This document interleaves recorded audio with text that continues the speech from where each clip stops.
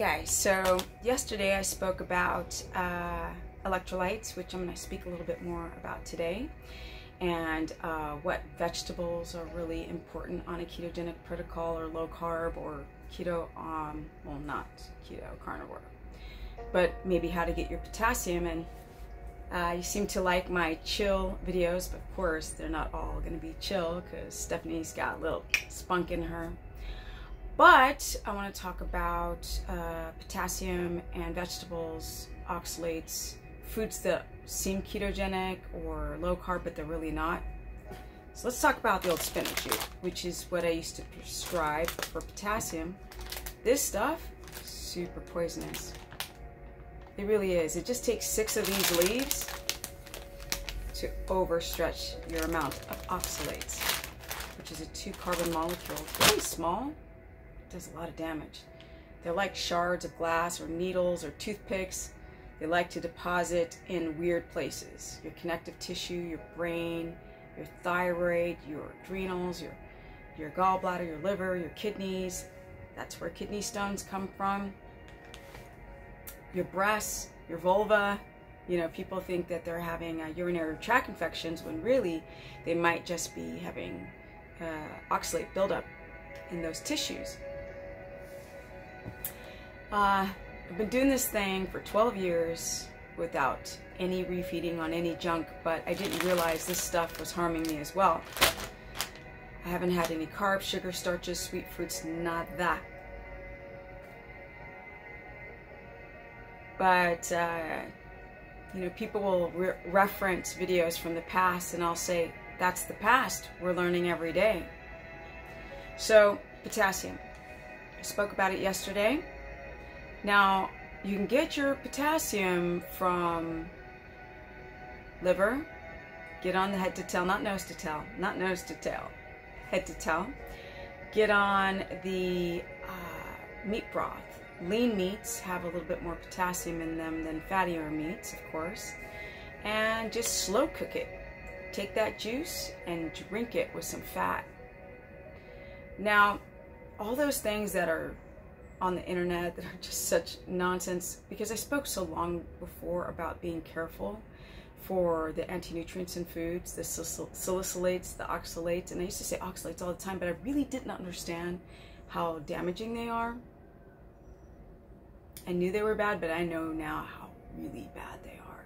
They form crystals easily in your liver, kidney, thyroid. And so a lot of you women who think that your thyroid is due to just stress or often because of estrogen dominance, which is still a problem, it could also be because of too many green smoothies and salads. I don't know how many consultations I do where people are eating green salads. If you're gonna eat a salad, eat arugula, but don't eat raw spinach. This is the last bag. I've been eating it since going off carnivore, but in very small amounts, boiled, uh, the water strained out of it, and then fried. But I'm done. It's just not worth it. You get your potassium from avocados. If you don't have a latex allergy, some people are like, oh, I don't feel well. Don't eat it if you don't feel well. That goes for eggs too, which is, is not an oxalate. But, you know, eggs and all the things that people say are ketogenic. People are doing bulletproof coffee and all this stupid stuff.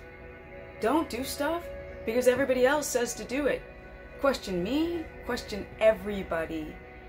Because uh, people aren't doing well and they're so afraid now to do keto and I'm here to stop this fear by educating you guys on the benefits of it because 52, 12 years solid, no refeeds, and I'm better, stronger, faster than ever before because I'm learning how to dial it in correctly by taking away stuff and adding in the right stuff.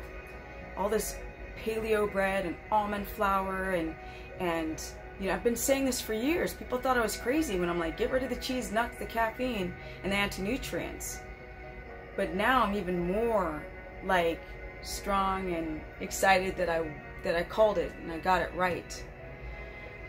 So get your potassium from lean meats, broth, get it from bone marrow if you don't have a oxalate buildup, because there's oxalate in the collagen, or uh, if you don't have a glutamate issue, which has uh, people have a histamine response to it, or get it from uh, your liver. Yeah, that's where you're going to get your potassium from. Now, if you're going to get it from a supplement, be careful, but I would say potassium citrate and not chloride. That's more toxic on the kidney system, biliary system. And I hope this helps. More videos to come on how to keto adapt the right way because the benefits, there are no risks if you're educated. And uh, you go out there and people are so obsessed with weight loss, they don't understand about how the whole system works and how important it is to find balance on how much fat, how many carbohydrates, how many, uh, if you're doing keto omnivore, if you're doing keto carnivore, which this that's a whole subject in a, in and of itself of that a ketogenic version of carnivore is just so much more sustainable because people run into the same thyroid issues and adrenal dysfunction from you can't rely on protein as your glucose. It won't restore glycogen. So it's better than not being adapted but it's better to adapt because you can have explosive energy and be able to do uh, explosive workouts while being fully ketotic. I know that because I've done it for 12 years straight.